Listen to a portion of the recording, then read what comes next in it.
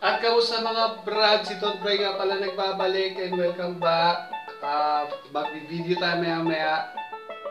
Maghihilamos lang ako, magtutoothbrush. Okay, mag-breakfast lang ako. Diyan lang kayo. Babalik ako, okay?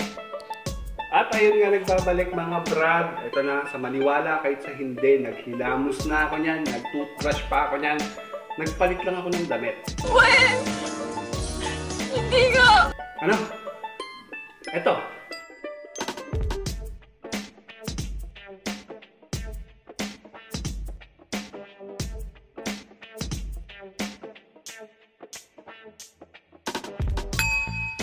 Boom. Ano, hindi ka pa naniniwala?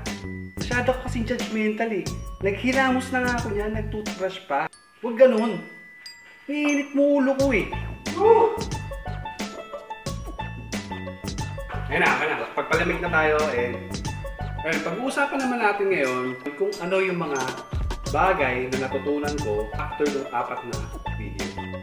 Lesson number one. Huwag na huwag kang gagamit ng front cam kung magbablog. Hindi na ako gagamit ng front cam kasi 360p ang kaya niya. So, ang labo. Mapapansin nyo sa last na video, Though trial lang naman yun, napakalabo. Hindi ko alam yung mga malag, mga technical na explanation dyan, pero isa lang alam ko, malabo. Lesson number 2. Itaas ang camera. Yung unang video ko, yung una, first vlog ko, mapansin nyo yung video nandito. Tapos, lumabas ako. So, yung, yung ilaw, nasa ulo ko, no? Nasa ulo ko. So, lumabas, ang dilim-dilim ko. Para akong kanino, no? Sa susunod na mga video, itataas natin yan. Ito. Sa unang video kasi, nag-gain pa lang tayo ng confidence. Okay?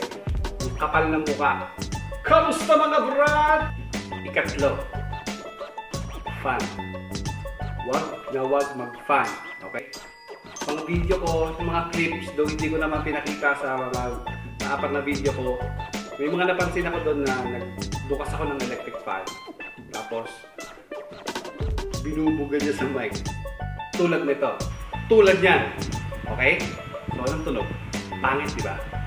Though, press ko, press ko sa pakiramdam, pero nasisira yung audio eh. Huwag na huwag mag-vlog na bukas ang electric fan. Pangapat, hindi maganda yung camera ko. Yung time-lapse na video is a failure. Okay? Kung mapapansin nyo, kung hindi nyo, malamang kinlose nyo yung previous na video, hindi nyo pinanood yung pinakahuli. Pero tinry ko lang naman yun, tinry ko lang, okay? Yun nga, since 360 na yung ano, 360p yung resolution, hindi pa successful yung aking time-lapse, okay? Pero, hindi pang ganun, pang malupitan na kuha yung camera okay? So, yung pang lima. Pang lima, iklian lang yung video.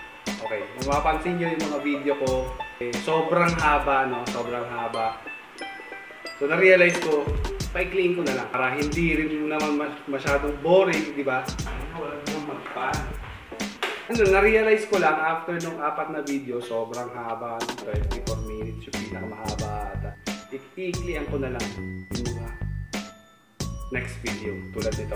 Ito! Kung maikli yun, kailangan may sense pa rin. May sense yung previous video ko yun. So yun nga mga brad, yun yung limang bagay na natutunan ko dun sa apat na vlog na, gawa natin ngayon, okay? So una, huwag kang gagamit ng front cam. Pangalawa, itaas mo. Itaas mo yung camera. Ito. Tama ganun lang. What's up? Pangatlo, patayin mo yung fan. Pangapat, hindi high-end ang cellphone ko. Ang lima, make it short. So yun mga brad, hanggang dito na lang yung video ko. Ayun, sana ano, may natutunan din kayo. So kung di nyo alam yung mga pinagsasabi ko rito, check out my previous vlogs. Aside from limang yon, baka may matutunan din kayo ibang bagay, okay? Pero i-review, i-review at i-review ko rin yung mga yon, okay? Kung nagustuhan nyo yung video na to, just hit like. At kung may mga comments, suggestions kayo to improve my vlog, Sulat nyo na sa comment sa baba, okay? Tapos, subscribe ka na rin kung gusto mo, okay? Yun, hanggang dito na lang muna yung video ko. This is Don Bry signing off. Ingat mga brad. Ito.